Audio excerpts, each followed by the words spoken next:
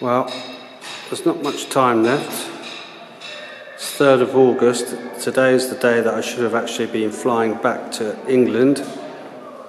So I've been here six weeks now. And as you can see, the building work is progressing.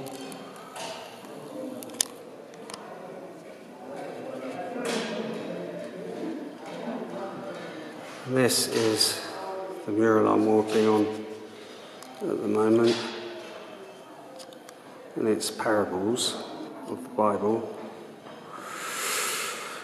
And uh, it's going okay. This is the first one I did. This is the sower. This is the, the Good Samaritan. I'm quite happy with this one quite like the graphic feel to it.